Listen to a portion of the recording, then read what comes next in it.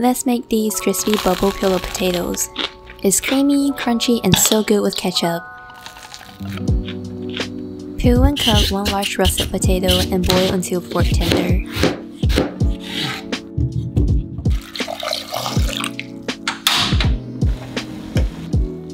Mash the potatoes and add in flour, cornstarch, salt, and pepper. Mix until just combined. With a small cookie scoop, gently drop your potato dough into the oil. Fry until golden brown and enjoy! So,